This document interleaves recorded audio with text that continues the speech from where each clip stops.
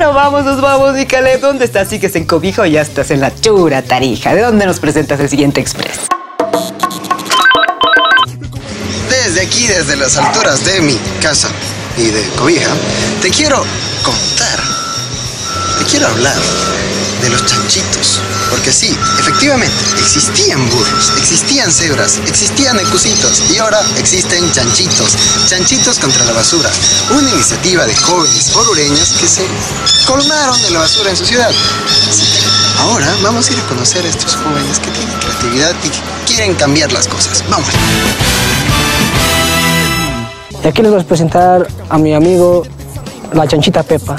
Hoy nos encontramos aquí en la ciudad de Oruro. Uno de los problemas que hemos detectado en toda la comunidad es eh, lo que las personas van botando la basura en las calles.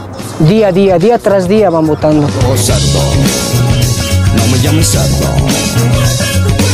Y eso para nosotros es muy malo y tenemos que enseñar a todos los colegios y a la comunidad que la basura causa daño a nuestro medio ambiente. Me cuesta mi amiga Chanchita, yo ya fui dos veces al mercado Cantuta y ayudé a que muchas personas ya no boten basura en el mercado Cantuta.